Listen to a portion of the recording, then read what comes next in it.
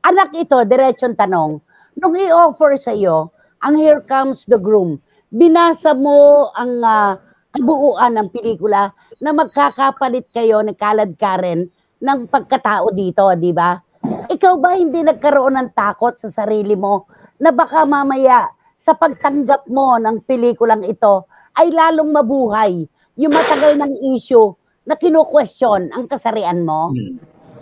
Ako po kasi lagi akong lagi kong sinasabi for the past 16 years and alam ko na nagiging usap usapin din siya.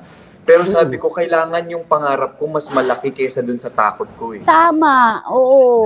So alam ko yung pangarap ko kasi maging alam mo yun yung makilala bilang isang actor, dependable na actor So, kung yun po yung pinapangarap ko at kung gusto ko magtagal dito sa industriya na to, na hindi lahat nabibigyan ng pagkakataon na tumagal oh. na ganito katagal, kailangan oh. kong tahakin yung mga daanan na hindi dinadaanan ng karamihang aktor.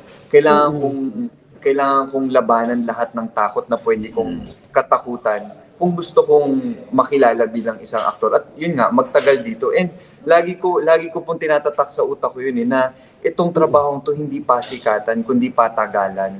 So. Tama, yun lang tama. po yung lagi kong yun lang po yung lagi kong inaalala. Tsaka sabi ko, masaya, maganda yung maganda po yung material eh, 'di ba? Noong mm-hmm. parang pinanggalingan na Here Comes the Bride kung saan nagsimula rin yung swerte ni Angelica Panganiban ah, ah pagkatapos ah. na gawin. So sabi ko, kung maaari kahit katiting na swerte galing doon sa doon sa na, natamasa ni Angelica, sobrang okay na po sa akin 'yun.